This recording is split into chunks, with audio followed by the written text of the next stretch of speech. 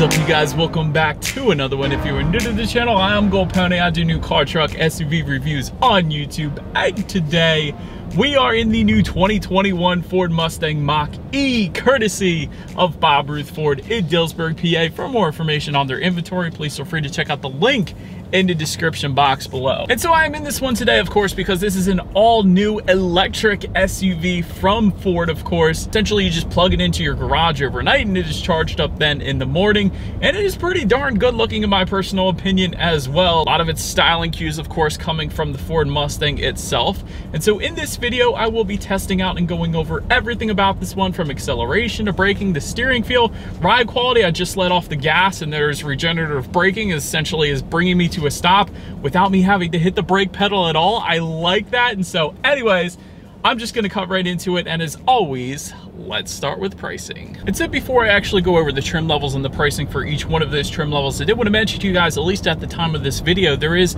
an available $7,500 federal tax credit if you live here in the US. So if you were interested in one of these, you have that to look forward to as well. And so first trim level is going to be the Select. That starts at $42,895. Then there is the California Route 1 for $49,800 Premium, which actually is the one we have today, starting at $47,000 even GT, which is going to be the very quickest Mach-E. That one starts at 60,500. And lastly, the first edition starting at $58,300. And so, as you can imagine, with each of those trim levels, there are different specs when it comes to horsepower, torque, all of that fun stuff. So, first configuration I'm going to go over belongs to the Select and Premium trims, like the one we have today. 266 horsepower, 317 pound-feet of torque for the rear-wheel drive. However, 428 pound-feet of torque for the all-wheel drive actually that we have today. 0 to 60 on this one, approximately 5.2 seconds with 230 miles of range in case you were curious there. Then there is the California Route 1 trim level. That one puts out 290 horsepower,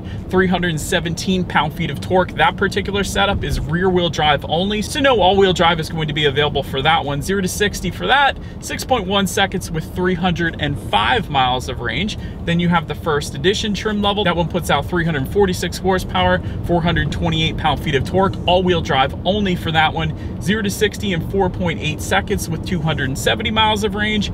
Lastly, the GT trim level, again, the quickest one, putting out 480 horsepower, 600 pound-feet of torque. By the way, there is a performance edition for that one that puts out 634 pound-feet of torque. All-wheel drive only for that one, 3.8 seconds to 60 or 3.5 seconds if you go with the performance edition with 250 miles of range for that particular setup. But before we do any kind of fun acceleration test in our Mach-E here today, a couple different things I want to mention to you guys first. Let me start with, of course, the drive modes. There are three of them. They are labeled Whisper, Engage, and Unbridled. And so I currently have it in Unbridled, of course. So if you were to think of it in a different way, Whisper is going to be eco, Engage might be normal, and Unbridled means sport. So just think of it that way. But they will adjust things like the acceleration, the steering feel, which was immediately noticeable for me. It is a much heavier steering feel when I put it in that last driving mode there, which I currently still have it in. So it's also going to adjust how quickly the Mach-E is going to slow down for you as well, actually. Gotta love these driving modes when it comes to electric cars. It's so different. And also, one more thing I wanted to mention to you guys before I do that acceleration test, there is a one pedal drive mode. And so I just put it in that drive mode. And really what that does is it just takes full advantage of the regenerative braking. So if I let off the gas pedal right now, it essentially is going to bring me to a complete stop. And it did without me having to touch the brakes whatsoever. So that is a pretty crazy concept if you were not used to electric cars. So I think that is pretty cool. I like that there. And actually there is a button labeled propulsion sound. Let's go ahead and hit that just for giggles here. I like that. I'm gonna leave that on. It makes this thing sound like a turbojet taking off, like an airplane taking off, if you will. So I like that.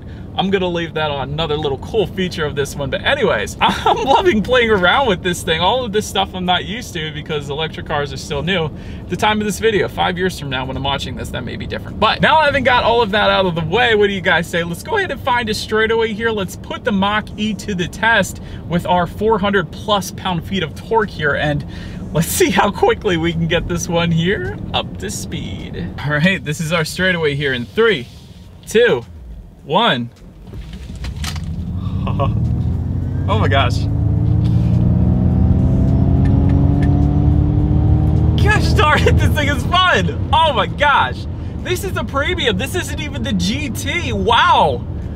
Yeah, buddy. This thing is fun, man. I wasn't, uh, okay, it has over 400 pound-feet of torque. I get it, but still, dang, you could feel it in the pit of your stomach, you guys. That literally, that acceleration was like a roller coaster take off. Not the ones where it's just like slow, but it's just the ones that shoot you out. That is how fun this thing is. I can't stop smiling. This Mach-E is a beast, son. And this is coming from somebody who owned a 2019 Mustang GT. This thing is a blast. Anyways, I'm done. To go along with that acceleration, as always, braking is equally important. And so as you can imagine, four-wheel ventilated disc brakes do come standard. When it comes to that 60-0 stopping distance, that comes in at 109 feet. And by the way, for comparison's sake, you guys, typically the Mach-E is compared to the Tesla Model Y. That 60-0 stopping distance for that one 118 feet. So 109 feet is much better.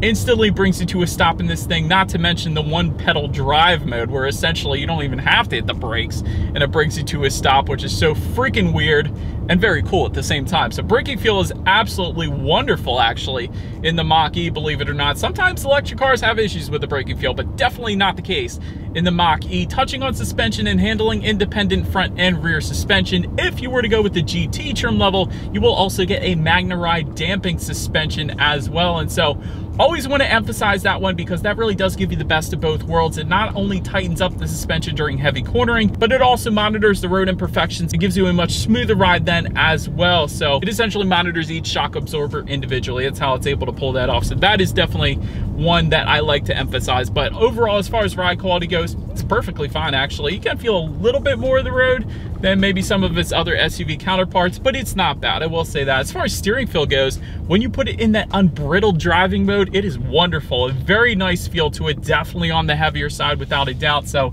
absolutely no issues whatsoever when it comes to the steering feel.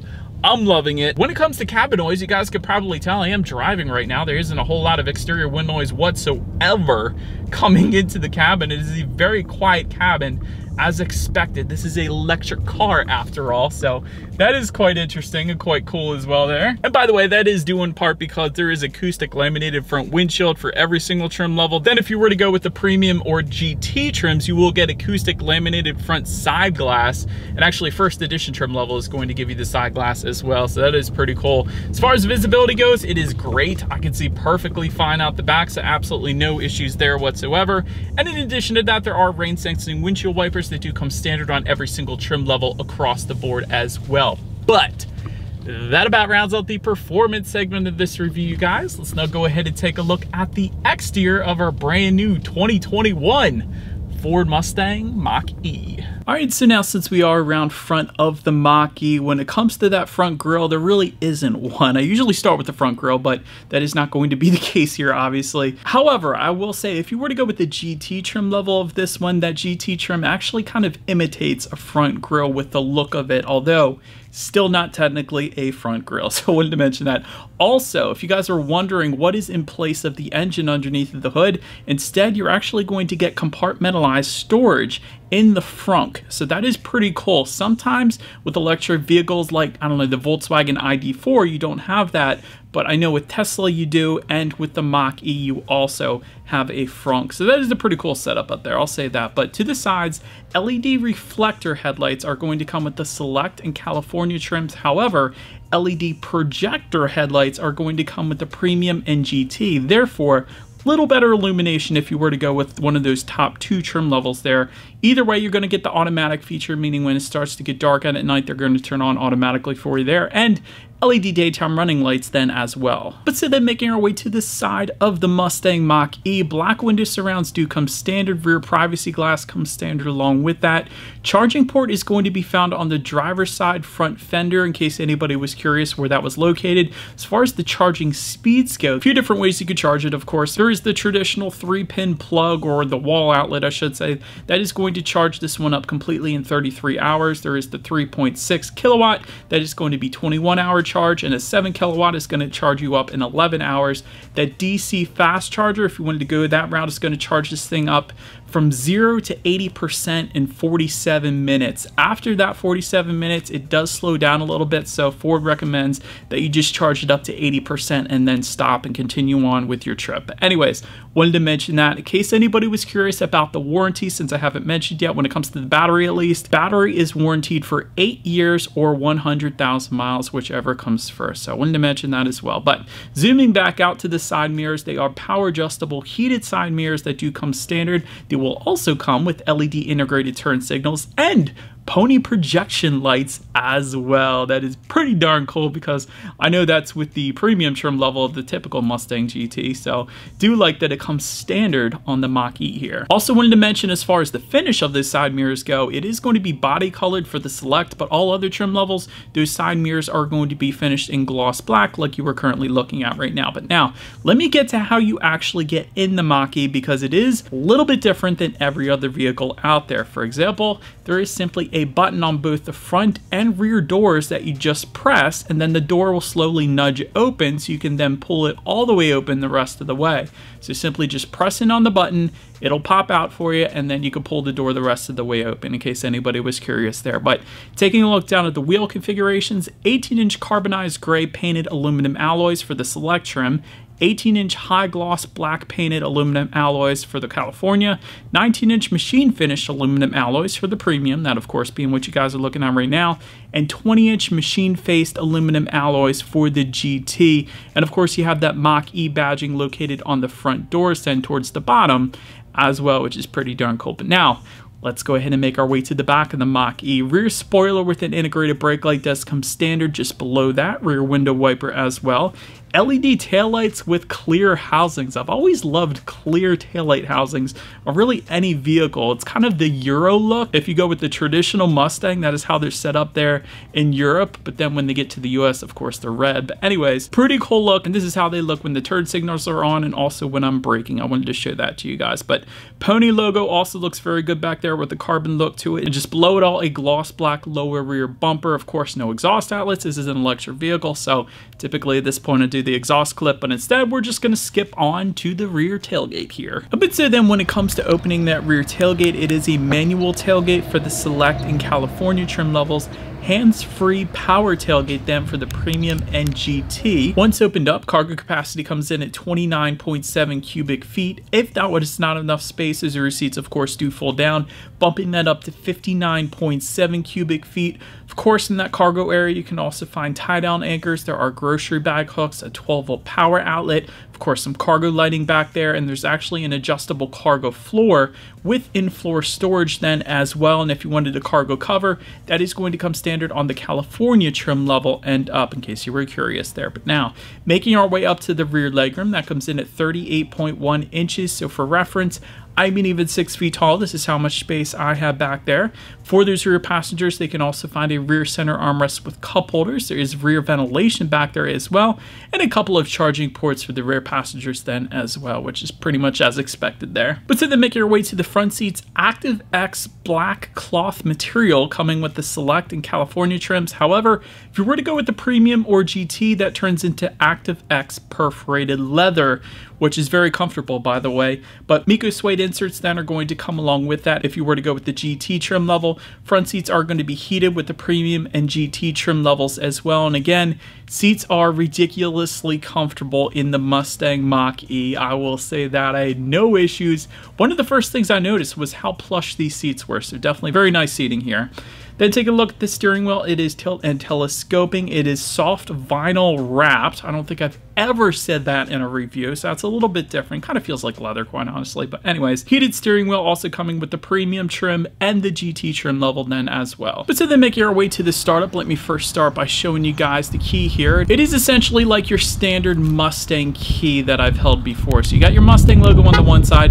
When you flip it around, lock, unlock, and that button to pop the rear hatch, and then a push button start though going to come standard for every single trim level along with the ability to use your phone as a key as well. And so once started up, this is one of the coolest gauge clusters, kind of similar to the Volkswagen electric vehicle I drove recently, but it is a 10.2 inch digital gauge cluster and it looks so cool. Digital readout essentially is front and center, and it's really all you're going to need on that one. But now, let's go ahead and make our way to overall interior quality. A panoramic fixed glass roof comes with the California Premium, and it's going to be optional for the GT then if you wanted it. Overhead sunglass holder coming standard on the Mach-E universal garage door openers standard on the Mach-E. Gotta love that. Wireless phone charger also coming standard on this one. Multicolor ambient lighting for the premium and GT trim levels. Then just in front of the shifter, you have a little bit of storage found there with the USB charging port, also an auxiliary port just underneath of that, even more storage, but it's going to be hidden storage. This is the part I loved and didn't expect to see. So that is pretty cool. So if you're a girl and you were hiding your purse or something, that is where you could potentially put it. So that is pretty cool. Dual cup holders just behind that. And by the way, the gear selector to actually change this thing up is going to be the circular selector, just like they use in the new GT500, just like they use in the Fusion on pretty much all of their other vehicles at this point. But anyways, within the center armrest, you have a 12 volt power outlet and a decent amount of storage then within there as well. But overall, as far as interior quality goes, everything is finished in very high quality. I love the contrast colors in this one with the light leather and the dark leather. Also like the contrast stitching, but perhaps my favorite part about the interior design, I guess you could say, was the way they integrated the speakers into the whole design. So we have a Bang & Olufsen sound system. I'll get to that in a second here, but they kind of used the speaker design and finished a lot of the other interior with that design, like just above the passenger side glove box. It continues on just behind the infotainment screen. And of course, that same material is found on the doors then as well, but a very nice design overall to the Mach-E, a very high quality design. I personally absolutely loved it. But anyways, Let's now go ahead and make our way to the fun part, to the infotainment screen. It is a 15.5 inch vertical color touchscreen display, works just like a smartphone, so it was very easy to pick up on for me personally. Bluetooth and audio streaming do come standard. One of my favorite parts though, wireless Android Auto Apple CarPlay. So many vehicles are still not doing that these days. It's kind of hit and miss at this point, I guess you could say, but gotta love the wireless Android Auto Apple CarPlay. This is a Sync 4A system, in case anybody was curious. It's not the Sync 3 system found in the 2020 Ford Mustang, for example. I don't know. Factory navigation system also coming standard. You can check out your climate control settings up on that screen as well, and your drive modes, of course. When it comes to the sound systems on this one, six speakers are going to come with the Select in California. However, you will get a 10 speaker Bang & Olufsen sound system with wonderful looking speakers, just like I said, if you were to go with the Premium or GT. So having said that, I do believe you guys know what we have to do next. Let's go ahead and turn on the radio, see what we got playing today, and let's test out the clarity of this one.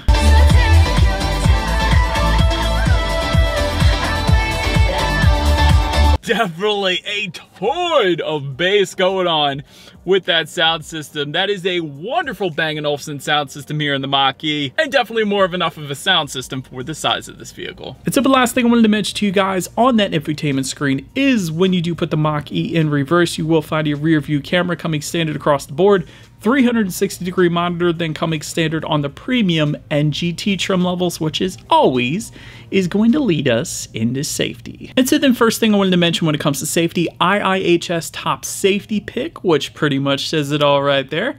Front side side curtain airbags do come standard. Driver's knee airbag up front as well. In the back, you're going to have latch, aka lower anchors tethers for children for the rear car seats. Rear child Dolax tire pressure monitoring system. That's all pretty boring. But Ford does a very good job with a bunch of standard safety on the Mach-E. It is called Ford Copilot 360. And this safety suite is going to include forward sensing system, auto hold, automatic high beams, a blind spot monitoring system with rear cross traffic alert, lane keeping system, pre-collision assist with automatic emergency braking, post-collision braking, reverse brake assist, rear parking sensors, adaptive cruise control with stop and go, evasive steering assist, quite a bit there. And then the California trim level and up is also going to add to that active park assist 2.0 where it is going to park itself, like parallel park itself and things like that. So all in all, when it comes to my final thoughts, let me tell you guys, I might catch some crap in the comment section for this.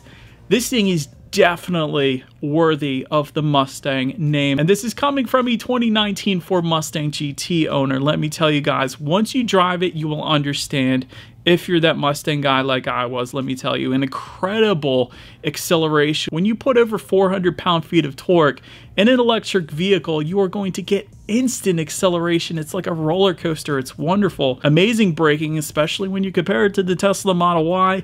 Great tech, great interior quality on this one, which I can't always say when I do Ford reviews, but this is definitely an amazing interior quality here. Also, you got the $7,500 tax credit going on right now, which is also a wonderful thing.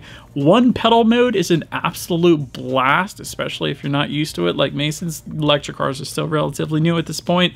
And overall, I gotta be honest, you guys, I would buy one of these things. This was an amazing drive. And quite honestly, probably my favorite drive all year, if I'm being honest. This thing was a blast, everything about it. So let me tell you, if you get a chance to check this one out, you definitely want to. So anyways, from the video at least, let me know what you guys think of the Mustang Mach-E in the comment section below. And so, but that is about it for this one, you guys. Thank you so much for watching. Feel free to follow me on social media at the bottom of the screen there if you wanted to see what's coming next on the channel before it actually gets to YouTube. Be sure to hit the subscribe and the bell notification button if you're into new car reviews. That is what we do here on this channel after all do appreciate you guys watching more than you know, and I will see you guys all in the next video. Stay gold.